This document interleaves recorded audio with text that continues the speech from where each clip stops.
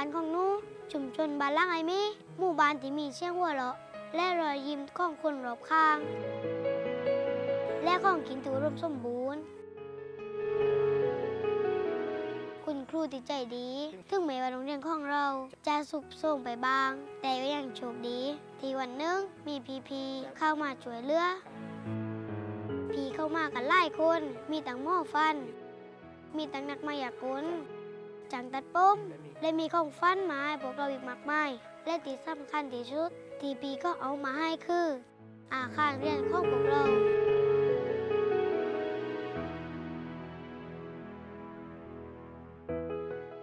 ซึ่งในการมาร่วมกันพัฒนาชุมชนในครั้งนี้ กลุ่มจิตอาสาได้ทำการสำรวจโรงเรียนกว่า 10 แห่ง ในพื้นที่ภาคใต้ และได้เลือกศูนย์การเรียนรู้ โรงเรียนบ้านหลังอ้ายหมี ในการมาพัฒนา เพราะที่นี่ยังมีสิ่งที่ต้องการความช่วยเหลืออีกหลายด้าน ทั้งในเรื่องของความเป็นอยู่ของชาวบ้าน และศูนย์การเรียนรู้ที่ควรได้รับการพัฒนา การทำ CSR เนี่ยแทนที่เราจะไปแล้วมอบเงินหรือมอบสิ่งของ แล้วก็หายไปเลยไม่แต่นี่เราทำเนี่ยโดยที่ส่งทีมงานไปพิจารณาว่ายังขาดหรืออะไรแล้วเราก็ไปเติมปรากฏว่าที่นี่มี ที่เรียนชั่วคราวเท่านั้นเอง เราเห็นในตรงนี้ขาดเราก็เลยสร้างเป็นอาคารขึ้นมาเลย และการก่อสร้างอาคารเรียนหลังใหม่นี้ ก็ได้รับความร่วมมือร่วมใจจากชาวบ้าน ในชุมชนบ้านหลังอ้ายหมี ที่มาร่วมกันก่อสร้างด้วย ซึ่งชาวบ้านก็มีการวางแผนการก่อสร้างร่วมกับอาสาสมัครชาวบ้านมาช่วยก่อสร้างก็มาช่วยอกเร่งอก อกกำลังเร่งกำลังครับ คือนนี้มันยกตัวอย่างเป็นลังนี้นะ คือมีชาวบ้านระดมทุนก็บางคนก็รับเจ้าบางคนก็คือรับปูนไปตักเการอบทิบรอบได้แบบนั้นเลย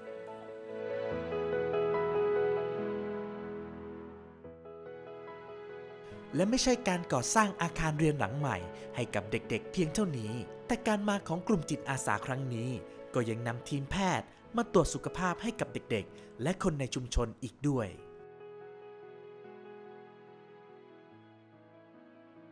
ในส่วนของทันตกรรมนะคะก็คือทางเราเนี่ยก็จะมีการให้บริการก็คือทำฟันให้กับเด็กนักเรียนของโรงเรียนที่นี่นะคะแล้วก็จะเป็นในส่วนของดูแลในส่วนของชาวบ้านด้วยนะคะ ก็เป็นทั้ง ตรวจฟัน อุดฟัน ขูดหินปูน ถอนฟัน ผ่าฟันคุดนะคะ และนี่ก็คือการร่วมมือร่วมใจของกลุ่มจิตอาสา ที่มุ่งหวังพัฒนาชุมชนที่ห่างไกล ให้มีคุณภาพชีวิตและการศึกษาที่ดี และมีความสุขที่มากขึ้น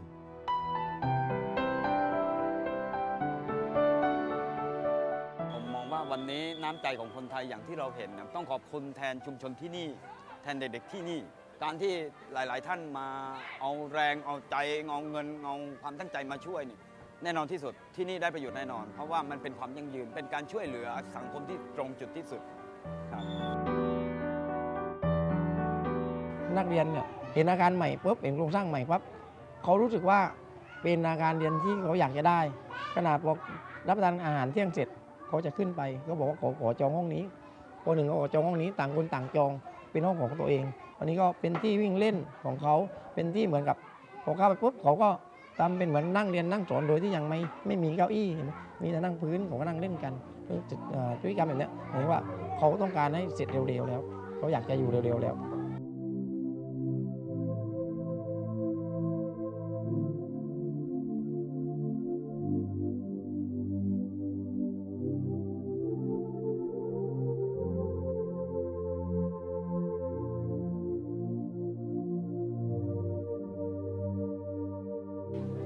เรามีความเชื่อว่าการศึกษาเนี่ยจะทำให้คุณภาพชีวิต ไม่เพียงแต่เด็กทั้งในในชุมชนเนี่ยดีขึ้น ไม่เพียงแต่ว่าเรามาแล้วเราส่งความสุขมอบความสุขให้เขาเนี่ยให้กับชุมชนเนี่ยแต่ทางกลับกันฮะชุมชนก็มอบความสุขให้กับเราเหมือนกันเพราะไอ้สิ่งเหล่านี้เป็นสิ่งที่ไม่มีอะไรที่จะมาทดแทนความรู้สึกนี้ได้ครับ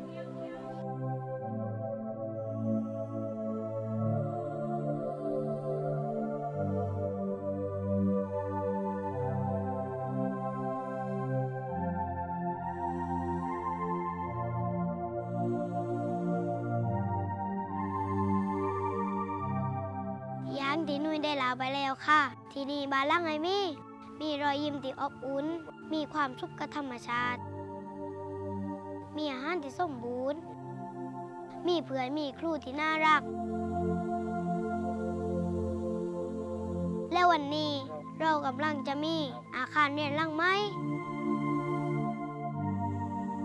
ส่วนย์การเรียนตำรวจตะเวนชายแดนบ้านหลังไอมี่ค่ะ และนี่ก็คือชุมชนบ้านหลังไอ้หมี หมู่บ้านที่เต็มไปด้วยรอยยิ้มของความสุข สุขในความพอเพียง สุขในธรรมชาติที่แสนสงบ และความสุขที่ได้รับจากการแบ่งปันทำให้บ้านฉันหลังนี้มีเรื่องราวมากมาย ที่ให้ทั้งแง่คิด และแนวทางในการดำเนินชีวิต ต้องขอบคุณบ้านหลังนี้ ชุมชนบ้านหลังไอ้หมี